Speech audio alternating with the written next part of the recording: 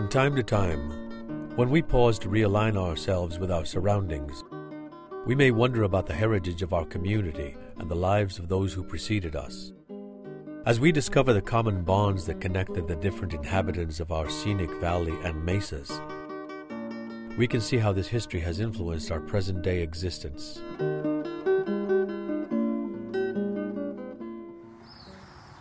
When I experience the vistas, cool breezes, and visceral ambience surrounding the mission, it is easy to imagine why my native ancestors, Bayom Kawichum, or people of the West, would have chosen this valley site to inhabit. As descendants of the Shoshone, we lived in dwellings made from reeds and grasses located in small tribal villages and settlements for centuries. As stewards, we managed wildland resources to meet our need for food, clothing, and shelter. Primarily as hunters and gatherers, we applied learned techniques to stay in harmony with nature.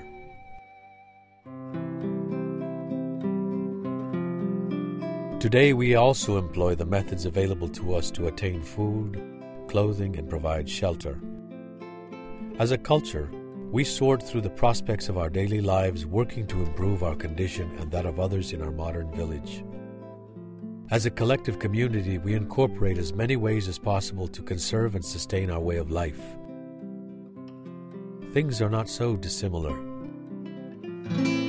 The California mission system began in 1769 with the arrival of Friar Junipero Serra to Alta California.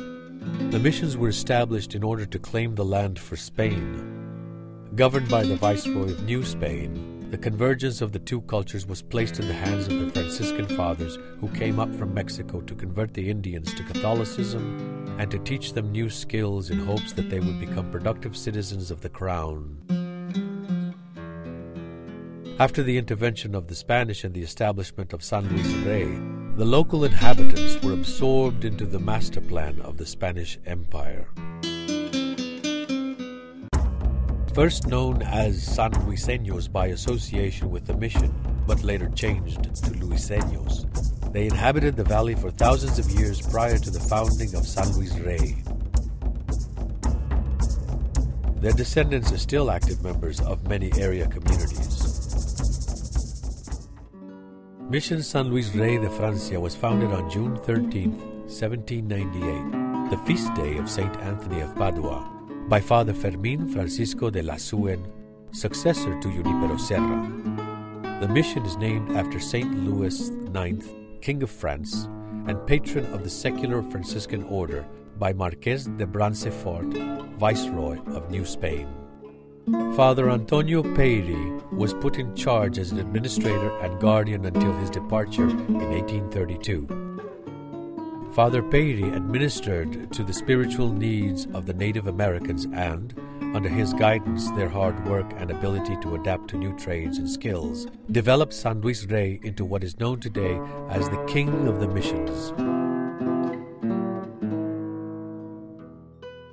Tucked away in a scenic valley just a few miles from the Pacific coast lies a majestic jewel of early California history called Mission San Luis Rey de Francia. The 18th in a chain of 21 Alta California missions that stretched from San Diego to Sonoma along the El Camino Real or the King's Highway.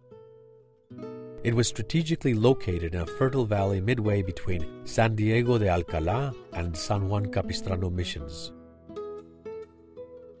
Known for its size, population, and productivity and sphere of influence, the property once extended many miles to the north and south and east to the foothills of Palomar Mountain. More marriages and baptisms were performed at San Luis Rey than any other mission, Domesticated livestock reached a level of nearly 60,000 head as a grain production peaked at 67,000 bushels. A massive construction program took place as buildings went up rather quickly, which made this mission the largest structure in all of Alta California until 1850. The walls formed a massive quadrangle that was constructed of adobe, fire clay bricks, and wooden timbers. The quadrangle also served as a viewing area for the entertainment on festival days.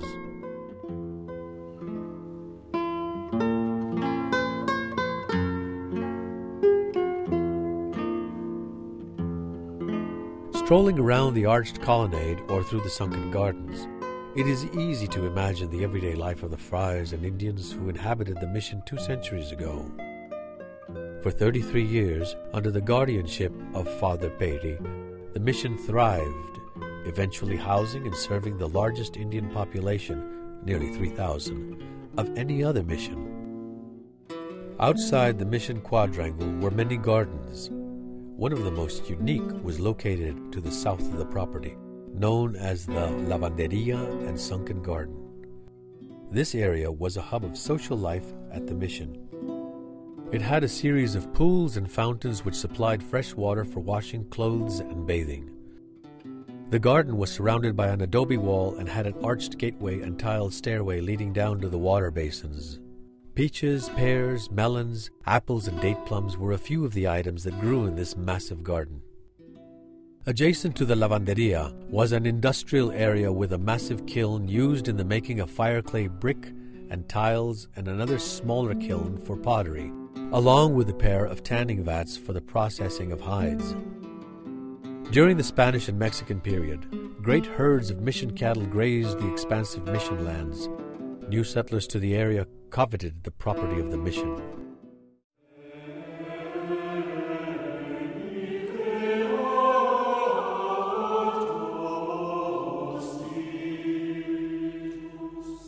For the Franciscan friars, the teaching of the Catholic faith was the primary goal. The church was the cornerstone of the mission quadrangle. Once inside this church, one is caught up into the inspiring world of holy devotion and religious art. The images still speak to us, even across the centuries. It contained works of art that were used as teaching guides and symbols of faith. Mass was held daily, and everyone was called to services by the ringing of the bells. Completed in 1815, the church is bold, late Baroque and neoclassical with Moorish influences. The designs emulate those which may have been found in the cathedrals of Spain. The main altar, Reredos, contained statues of many saints. The upper niche contained a statue of Saint Louis IX, King of France. In 1827, the octagonal wooden dome and cupola were added.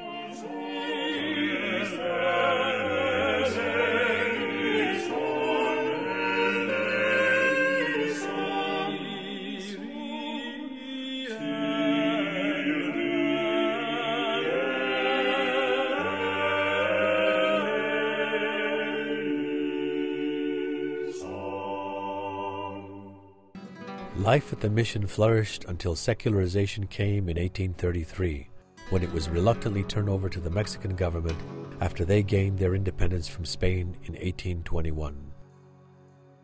This was a hard time for all at the mission. Many returned to Spain, including Father Antonio Peyri, rather than endure the dismantling of church authority in the mission territories. In 1832, Father Peyri boarded a ship in San Diego, headed for Mexico, and eventually home to Spain. Upon hearing the news, many neophytes raced to the shore in an attempt to stop him from departing. The Mexican period of secularization brought with it frequent changes in governorship in Alta California, which led to a period of confusion and sporadic violence. The Luiseños had a difficult time Many were not allowed to assimilate into the general population, and the lands that were once theirs had now been seized by the new immigrants. Buried in the church are Father Zalvidea and in 1846 Father Ibarra, the last Franciscan friar to serve the mission, who bore witness to its decline and the ill treatment of the Indians. The original cemetery contained hundreds of burials, and a large monument was erected by Father Peyri in memorial to all the Luiseño Indians who died and were buried there. Placement of the cemetery on the eastern side of the church has symbolism that relates to the resurrection and the rising sun. Prior to 1846, Pio Pico transferred much of the mission land to public ownership. Land grants distributed property to wealthy ranchers, soldiers, and other politically connected families that had migrated to the area. Much of the mission property, once thriving and bustling with activity, fell into disrepair and were all left to ruin. Alta California had become a prosperous territory with great potential and undiscovered resources, which brought the U.S. and Mexico into armed conflict. In 1846, the United States Army first arrived at Mission San Luis Rey, taking up official residence in January 1847. By this time, the mission was completely abandoned and rapidly deteriorating.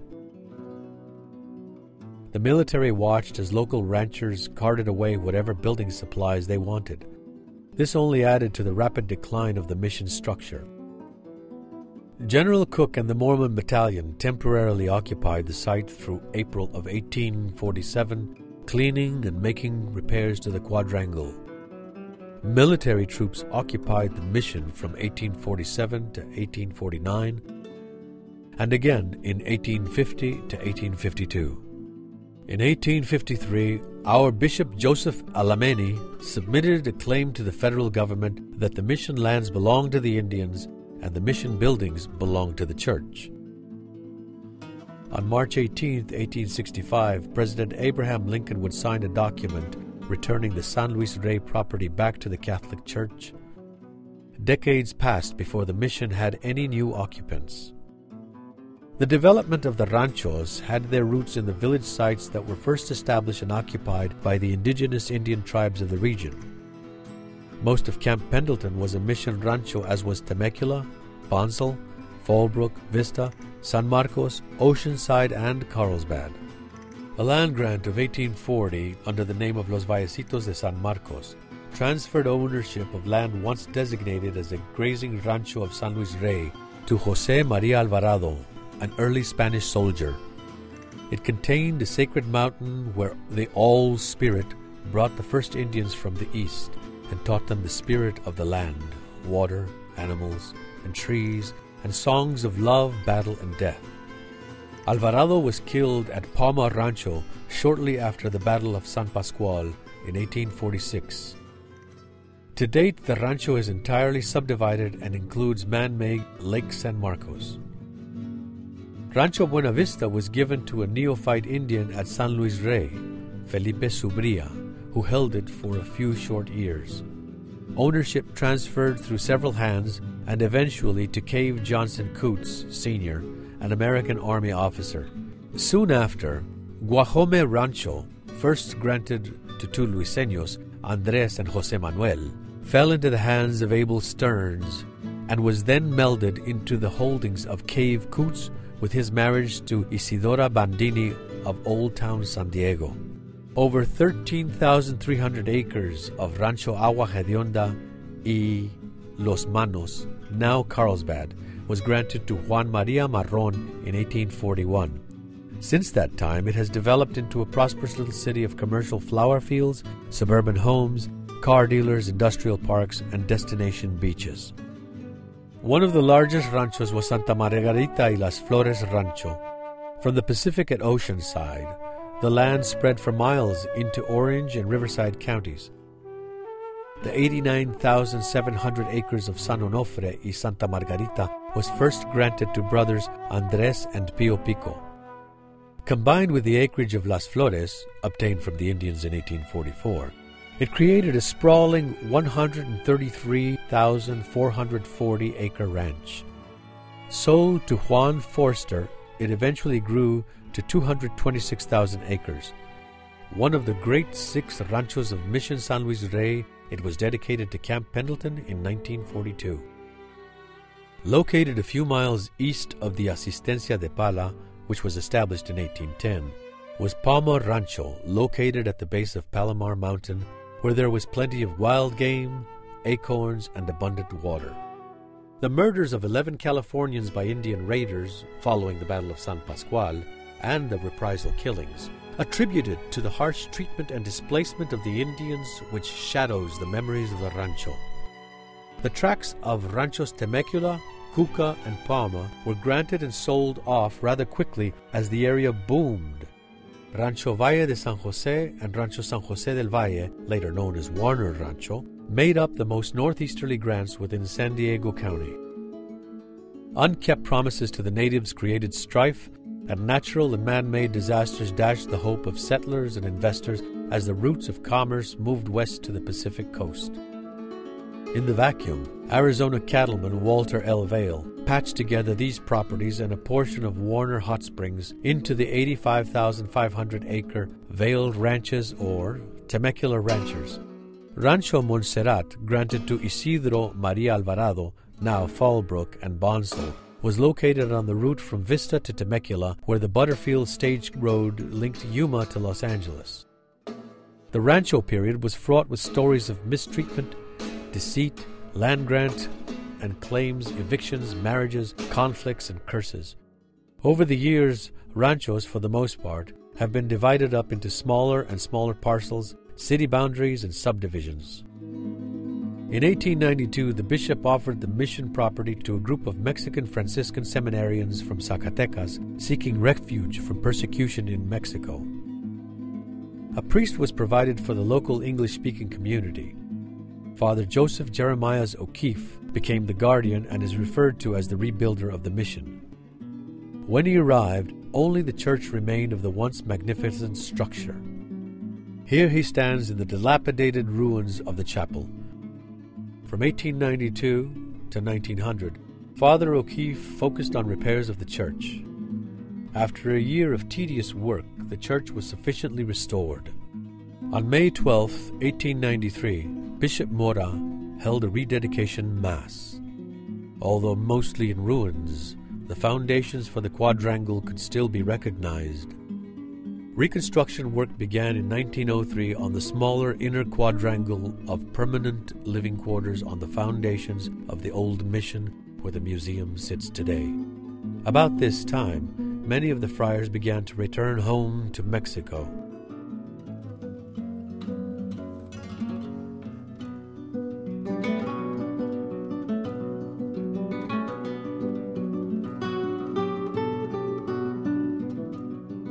Rebuilding of the inner quadrangle and the church was completed in part using materials salvaged from the original buildings.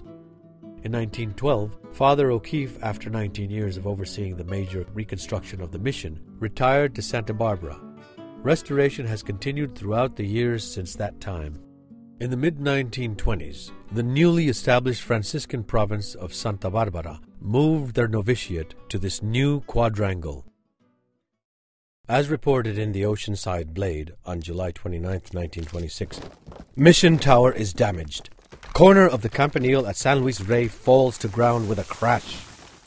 With a crash that could be heard for a considerable distance, and just as the big bell gave the call for early mass this morning, the entire southeast corner of the Campanile or bell tower at the San Luis Rey Mission fell to the ground. The portion of the tower that is wrecked is comparatively new work that was laid when the tower was repaired about 1897. The original portion built by the Padres in the early days standing unshaken. By the 31st of March 1927, the rebuilding of the tower is nearing completion. The two feet thick supporting pillars of steel reinforced concrete are in place beneath the belfry on all three sides. With an outside wall of concrete six inches thick, the mission belfry will appear exactly the same as it did before the collapse. The public fascination with the history of the mission continued to grow in the 1930s with the filming of the Vigilantes and continued through the 1940s and 50s. Disney Company's filming of four episodes of the TV series Zorro at San Luis Rey brought new audiences to the mission. Fiesta celebrations bridged cultures and united the various ethnic customs together in one place, San Luis Rey. For decades since, the mission has remained the hub of the greater Oceanside community.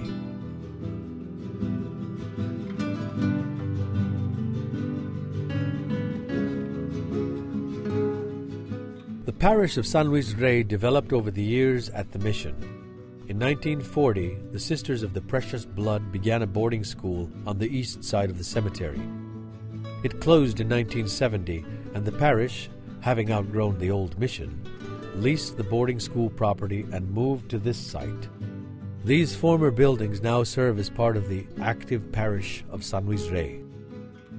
During mid century excavations of the Lavanderia area, friars rediscovered historical features buried under the layers of dirt and sediment accumulated over the years. The soldier barracks were also uncovered along with the bathing pools, lime brick kiln, and evidence of other industrial uses. Various artifacts were discovered and placed within the Mission Museum. In 1949, rebuilding of the large quadrangle began with new structures to house the institution called San Luis Rey College. Every attempt was made to preserve the integrity of the former buildings. Even the original colonnade arches that were still standing were preserved. Established to prepare Franciscan friars for solemn profession and the call to ordination within the order of Friars Minor, the buildings, completed in 1950, housed the college until it closed in 1969. It serves today as a retreat and conference center, which continues to offer spiritual retreats and community services. In 1970, the Mission San Luis Rey Church was designated as a National Historic Landmark. Despite the fact that the mission does not receive support from the state, federal government, or the Diocese of San Diego, and relies on charitable donations, retreats and admissions, Restoration's efforts, undertaken to stabilize and preserve the exterior of the church building, were completed in 1984. It is still a living remains of an incredible episode in recorded world history. Travelers from around the world recognize this as a place of heritage worthy of preservation and descend on the mission to see it firsthand. The orchards of pears, apricots, peaches, and figs of Vista, Bonsall, and avocados of Fallbrook, Oceanside, and Carlsbad citrus, grapes, and greens throughout the state, like so many agricultural products, find their origins in the orchards and gardens of the Franciscan friars. The California agricultural juggernaut of today can trace its roots to the mission era, the time of Friars Junipero Serra and Fermin Francisco de Lasuen. The pleasure and bounty of the seaside destination and fertile San Luis Rey Valley have nurtured and sustained its inhabitants for generations. The convergence of the two cultures more than two centuries ago set the stage for a community diverse as any other. It is important to recognize that the native inhabitants and the Spanish that interacted for such a brief time in history have powerfully shaped the complexion and character of our communities. At the core is a historic site populated with the material culture of this significant and challenging time. The ranchos of Santa Margarita y las Flores, los vallecitos de San Marcos, Buena Vista, Guajome, Agua Hedionda, once a part of the Mission San Luis Rey, are the towns of Temecula, Fallbrook, Bonsall, Vista, San Marcos, Carlsbad, and Oceanside. Luiseño descendants remain connected to the community and share a common heritage with later settlers. Built from the earth, expanded during the mission era, and made relevant through common grounds and community involvement. In recent years, a tremendous amount of development has entered the San Luis Rey Valley. A highway was brought in and forever changed the area. Shopping malls replaced farmlands. A core historical area of San Luis Rey was developed surrounding the mission to recognize its heritage and to preserve the character of the community. While the goods of commerce take on unique appearances and the major routes of travel have shifted from El Camino Real, inhabitants still occupy the land much as they have for centuries. Hunters, gatherers, or convenience shoppers, we all seek sustenance from an array of sources by fair exchange, convergence as a community cultivated from the time of the missions, learning new skills in order to become good and productive citizens.